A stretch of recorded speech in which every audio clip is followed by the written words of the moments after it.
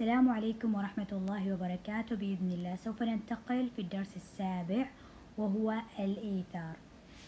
طبعا هنا في درس الإيثار عندنا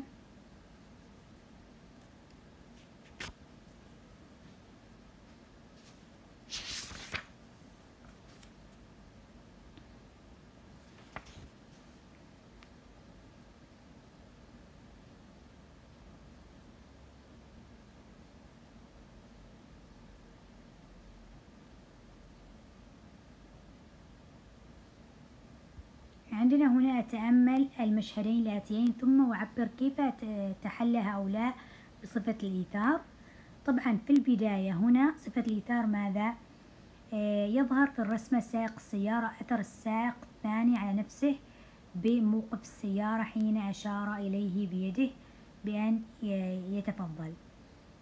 كذلك عندنا هنا آه، يظهر في الرسمة طريقة تعامل الرجل مع المرأة وحرصه على مساعدتها.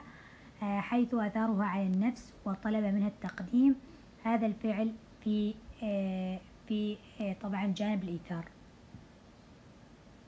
عندنا ثمار الإيثار يبعد عن الشح والإثارة وكذلك حب الناس وأيضا التعاون وكذلك البركة. التعاون والبركة ينمي الخير. الآن ننتقل إلى أقيم تعليمي.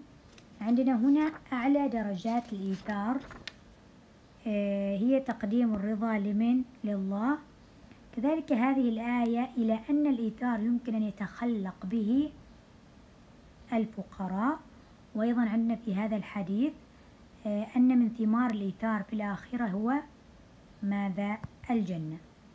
عبر عن التصرفات التالية. امتناع عن تغيير مكانه في أول صف لزميل لديه قصور في النظر. طبعا هنا لا أوافق على هذا التصرف وكان الأولى أن يتخلق بخلق الإيثار.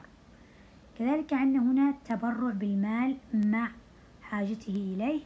طبعا هنا أعجبني تصرفه حين تخلق بأخلاق الإيثار.